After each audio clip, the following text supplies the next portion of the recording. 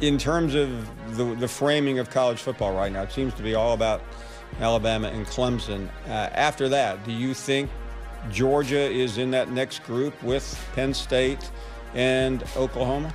It sure seems that way. It only gets greater because of the attention surrounding the team. We have no choice but to talk the Georgia Dogs up because my goodness, have they been playing some football or what?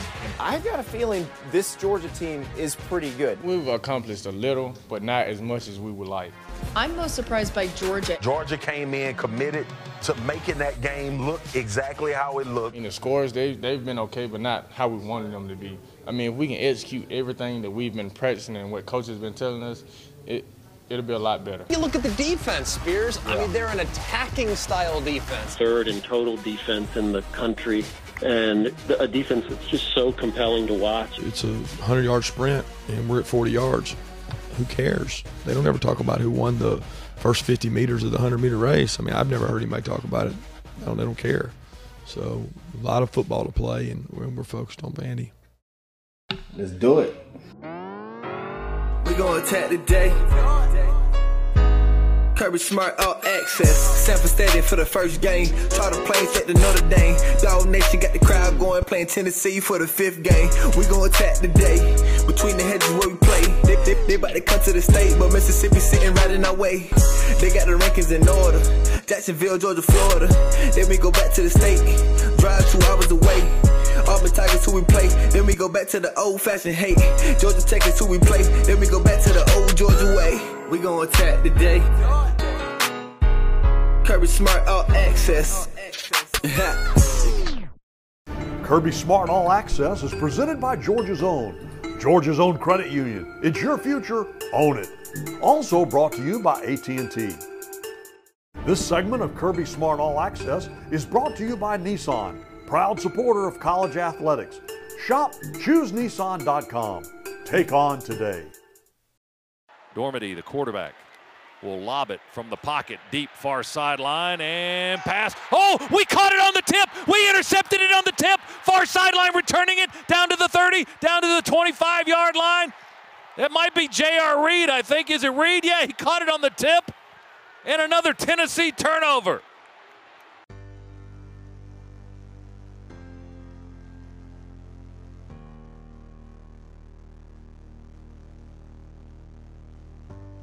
J.R. Reed was no stranger to football growing up. Uh, I grew up, my dad played 12 years in the NFL, Jake Reed, wide receiver for the Vikings, two years with the Saints. Uh, he was a coach, he coached me all the way through high school, so he's really hard on me throughout when I was little. So when I came up here and Coach Smart was hard on me, it was nothing new. I could take the coach and it was really easy transition. Really good player, tough, hard-nosed player, um, understands the game of football and is very passionate about the game of football. That passion started at a very early age. Uh, ever since I was a little kid, I always understood the game, I always enjoyed the game, and I always knew this is something I wanted to do. Um, great bloodlines and um, been a great benefit for our defense.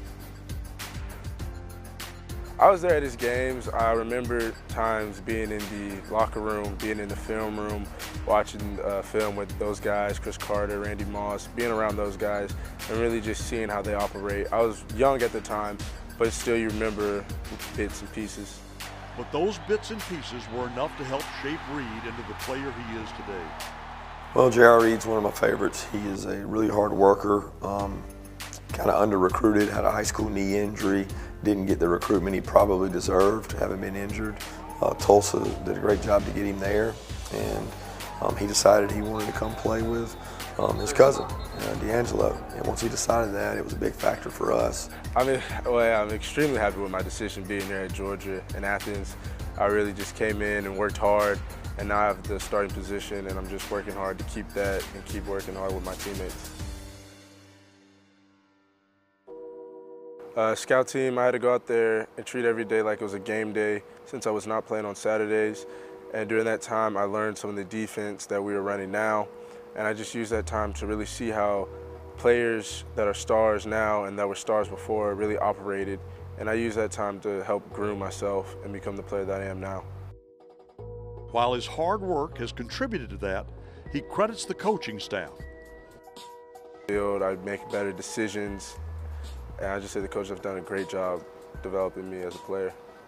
Through it all, his parents have always been by his side. My parents come to every game, home or away. They come to every game. They enjoy coming to every game. I enjoy seeing them after games.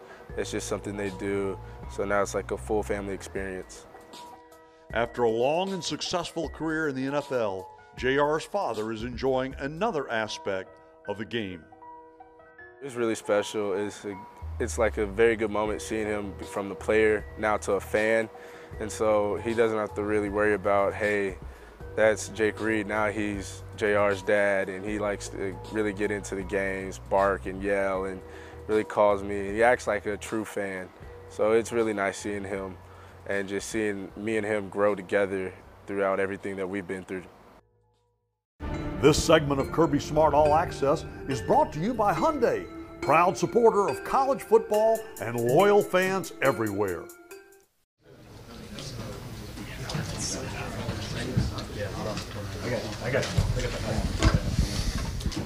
Um, well, I think any chance you get to go to Nashville and play Vandy, I know they got a great program. Derek does a really good job with his team.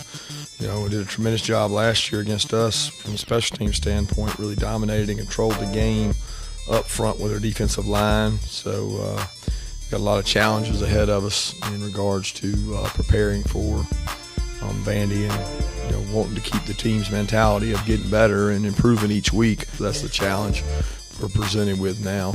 It only gets greater because of the attention surrounding the team, but for us, it's really about getting better and focusing on the next opponent, and that's where we're at. Kirby, I know this is no surprise. You'll get asked this one, but will Jake start Saturday, and how will you kind of handle that moving forward? Will it be evaluations in practice, ball games? How will that kind of work?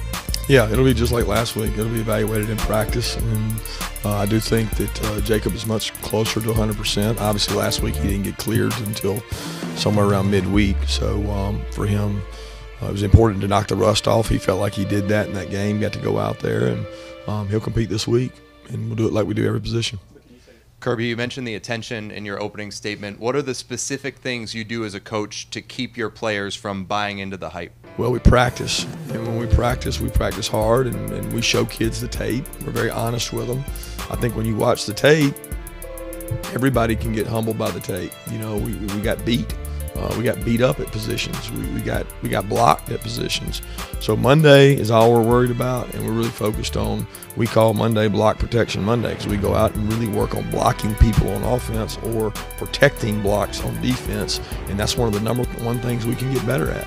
And you get better at that, it doesn't matter what you call a lot of times. You just get better at the fundamentals, and, and we try to humble the guys by showing them the honest truth. Um, is it on now? It's on now. Yeah. Let's go, bro. This used to be your ringtone, coach. No, man. We didn't even have cell phones when this was, was when this was out. Everybody had pages. Coach Tucker, he's a player's coach. You know, he coached 10 years in the NFL, so he knows how to reach his players. I'm about to learn how to rap the uh, defenses to you guys so you can learn them. You guys know all the lyrics of the rap music, so what I'm gonna do is I'm gonna I'm gonna I'm gonna start rapping the installs. I gotta find a way to capture those guys' minds, man. Ghostface Killah. Ghostface Killah. They weren't even born when those guys were rapping. You know, he's not a one-way street guy. He knows how to, some players, how to get a reaction out of them, how to play. So by him being a player's coach, he's really coached me up. He's really pushed me to be the best I can be. Stay square. There you go. Oh, oh! So I'm gonna move in the corner. Put a little something on the ball, man. There you go. Right there, come back with him. Swat hook. Good. Next guy, hurry up. Check one, Rich. Back up, guys. Get that ball out. Stay up, stay up. I want you to go throw at the guy. Make him better. Open up the game. You look a little bit better today, Tyrique. You might be able to help us this week. Tyrique, you gotta, you gotta show you can help us this week, man. Don't put words in my mouth. That's not what I said. That's right. That's right. I know you're alpha dog. Exxon! Pull! Back up, back up, back up! You get your eyes checked yet? You gotta get your eyes checked, man. No, no, man. You need. I think you need rec specs. Like Kareem Abdul-Jabbar. Hit it! Knock it back!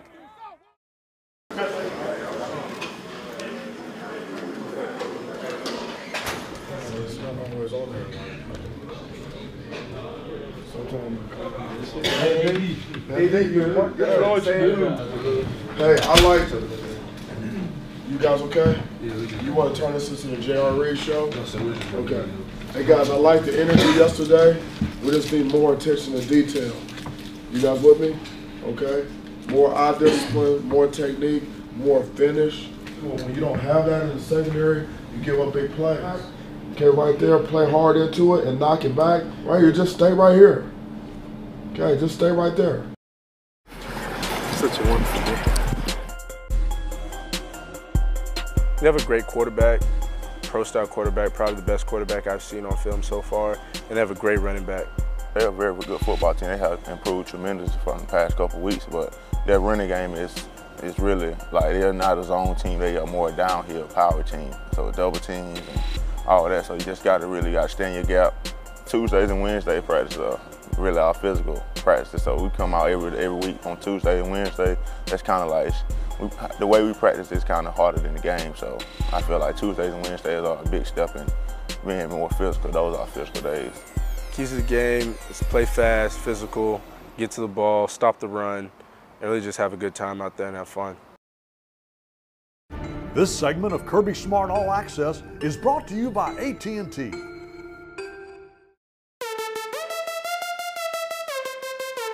Georgia won its fifth straight game last Saturday with a 41 0 smashing of Tennessee. The Dogs are now 2 0 in the SEC and have cracked the top five this week in the national rankings. 5 0 and 5th ranked Georgia will make a return trip to the state of Tennessee this weekend to face the Vanderbilt Commodores.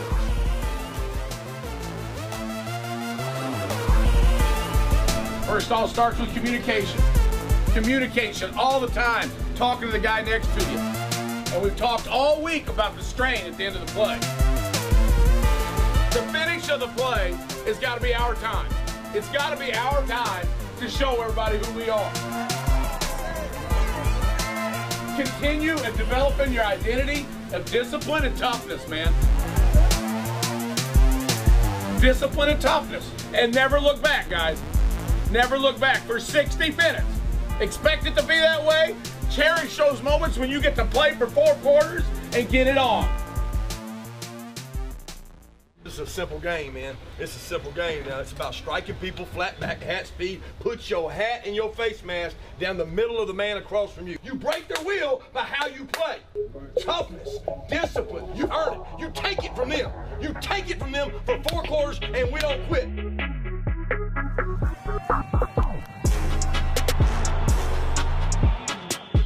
Make them go the hard way. That's it.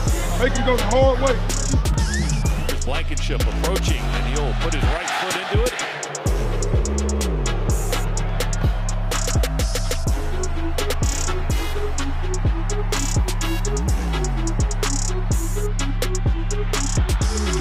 Shreds a tackle at the 20, 10, 5, touchdown for Nick Chubb, and the Dogs are on the board first. Three plays in a row, exactly the same play. Chaney saw a weakness, kept attacking it. He stretched it out all the way to the sideline. Dominick Sanders. Roquan Smith with the hit. Breaks the tackle, kicks out to the right, to the 25, to the Swift in the ball game in the backfield. Fromm will throw it to Swift, open at the two, and he reaches and gets the ball inside the byline. Touchdown, D'Andre Swift, the freshman, on the throw from Jake Fromm. Caught it at the two and dove for the pylon and got the ball just inside for the score.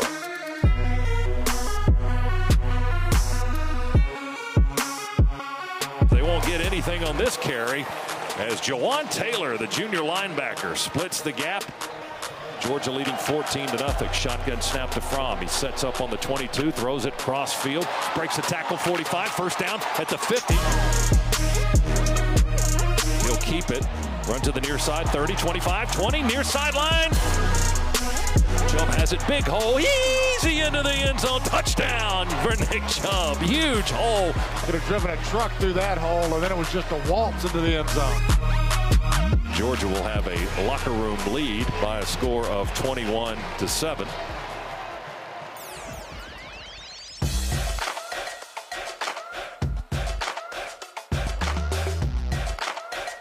Fromm sets up and throws deep. He's got Godwin. Touchdown in stride as he crosses the goal line. Put it right on his hip. What a throw and a great catch, Godwin. And the Dogs are in the end zone with six more. Here's Sony for another try. Straight up the gut. Breaks a tackle 40, 35, 30. Get to the house. 20, 15, 10. Sideline. Pylon. Touchdown. Number one, Sony Michel.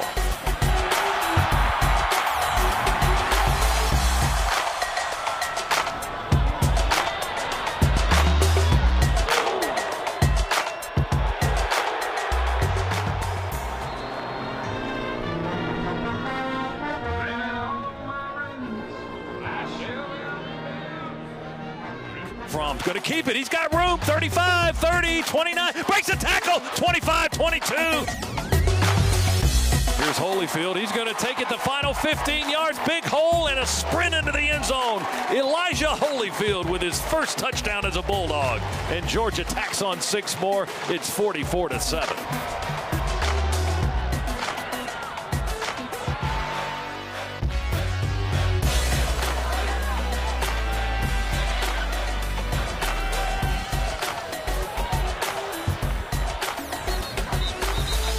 Holyfield straight up the middle. And the Dogs go over 400 yards rushing. And the clock ticks down to zero. And Georgia now 6 0 on the season and 3 0 in the SEC. Wins this one by a score of 45 to 14. Kirby Smart All Access is presented by Georgia's Own. Georgia's Own Credit Union. It's your future. Own it. Also brought to you by AT&T.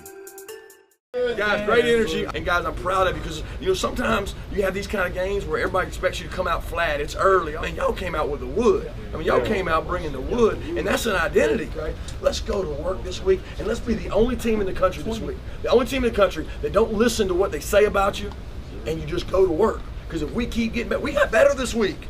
We got better this week, especially on the offensive side of the ball. We got to keep doing that, okay? Everybody with us. We're in this thing together. We love each other. We're all together. Family on three, family on three. One, two, three, family.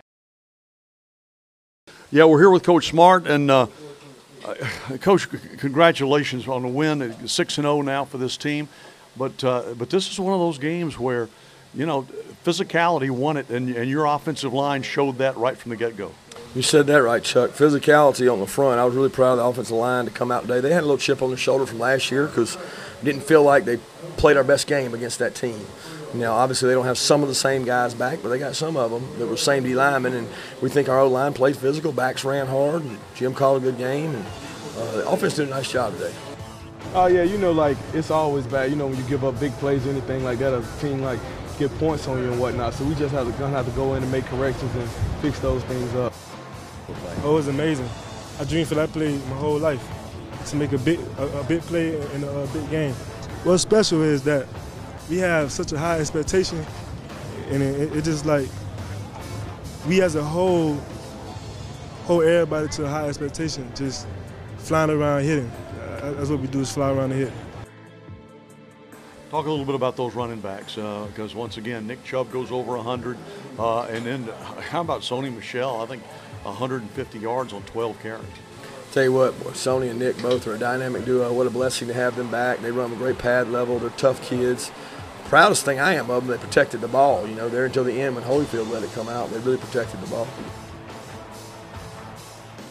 Yeah, it's very fun. You know, just um, everyone's having great success. It starts with the O line. Those guys, those guys did a great job up front, pushing and opening up big holes for us. And you know, we have a, a lot of great running backs here. We all hit the hole, and you know, just doing what we do after that. Ultimately, we came out here.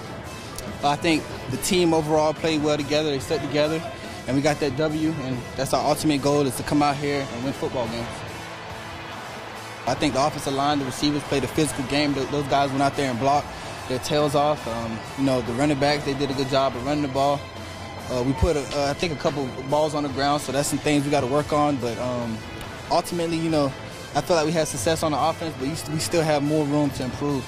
125 yards rushing for the Dogs so far. Here's Sony for another try. Straight up the gut. Breaks a tackle 40, 35, 30. Get to the house. 20, 15, 10. Sideline. Pylon. Touchdown. Number one, Sony Michel.